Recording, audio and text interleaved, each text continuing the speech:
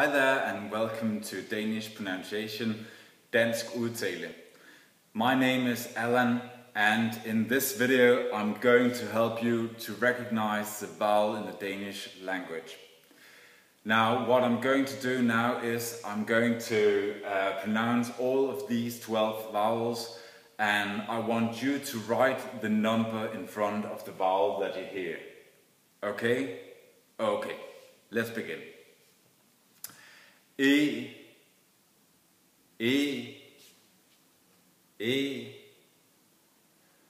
Ø, Ø, Ø,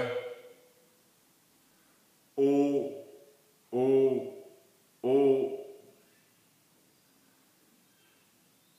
Y, Y, Y, A, A, A, I, I, I, O, O, O,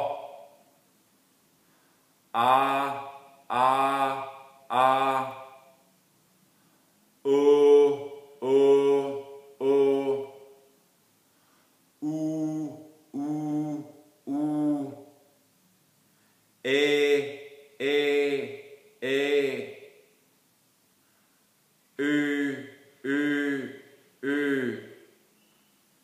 Okay, that was that, and here I have the right answer.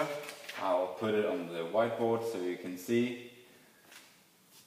That was all for now. Thank you very much.